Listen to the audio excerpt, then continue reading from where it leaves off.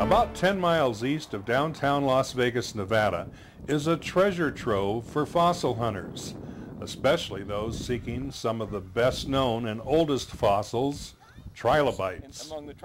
The hunters this time are members of the Nevada Friends of Paleontology Society, a group that promotes research and awareness of ancient life forms through meetings and field trips.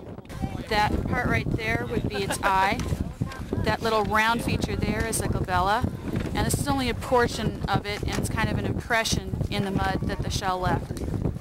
The society is open to young and old, as well as amateur, student, and professional paleontologists.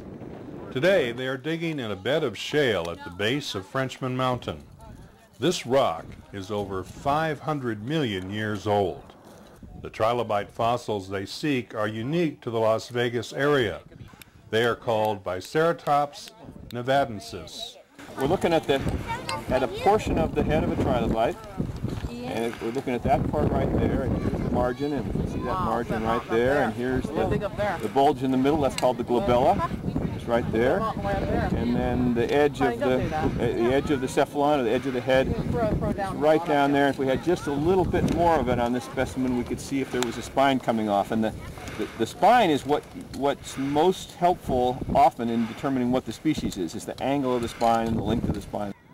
Trilobites became extinct more than 300 million years ago. They disappeared before dinosaurs arrived.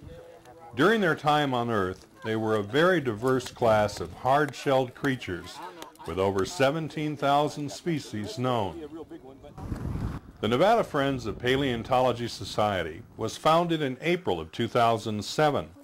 Its first year was filled with achievement and featured programs on the discovery of Nevada's first dinosaur fossils, and ongoing digs for mammoth bones in the Las Vegas Valley.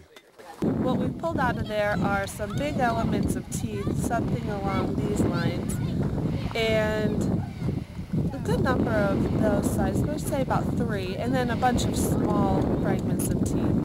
Mammoths, a relative of the modern elephant, lived in the Las Vegas area until about 10,000 years ago.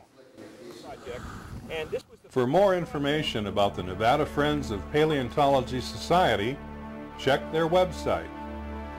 This is Bob Clark reporting.